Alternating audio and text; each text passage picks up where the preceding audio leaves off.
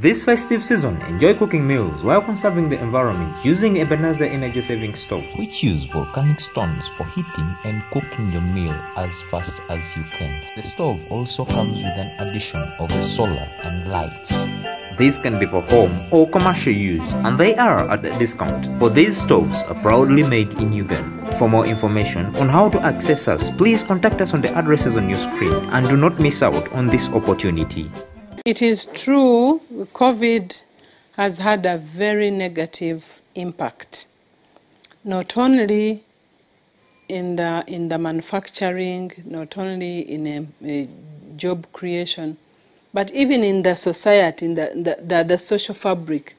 There's a way um, really COVID has devastated us.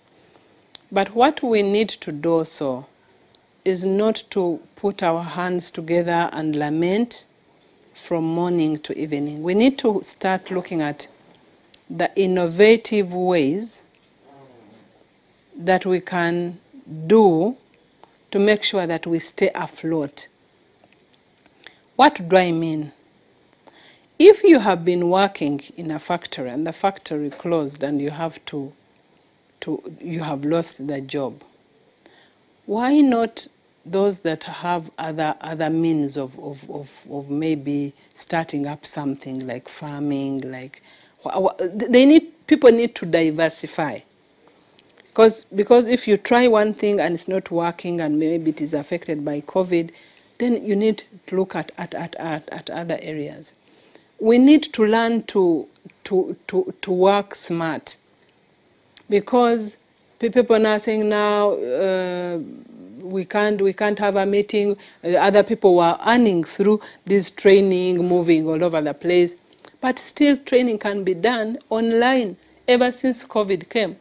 We have seen so many factories coming up because of the demand of, of some commodities the ppes the gloves the what all, these things. Now they are manufacturing locally. So i think we, the, the most important thing is not to lament but to find ways of ad- adapting to the new normal. So instead of just folding our hands and lament COVID, COVID, we need to see really how we can adapt to the new normal and move on. Even teaching those who have which the, the, the school owners whose schools are closed, they they adopt. It's just about uh, it's a matter of getting internet and and and and and getting classes conducted online and then the, the children of course for the village uh, for the for the for the village children that is now different but still even then that is the only way we are going to force ourselves to learn the technology even in the village even teachers in the village have to learn the computer. They have no choice. They have to learn the computer and teach on the computers. And even those children teach they teach the children the computers because now the, the age has changed. It is actually a computer that is going to take over our everything that we are going to do. So the earlier we teach even all those children in the in the rural the better for us